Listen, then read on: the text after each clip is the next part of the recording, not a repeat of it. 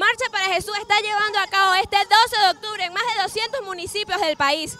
La Fundación Marcha para Jesús se encarga de coordinar cada año la gran marcha nacional de todos estos 12 de octubre. Dios verdaderamente está cambiando la historia de nuestro país.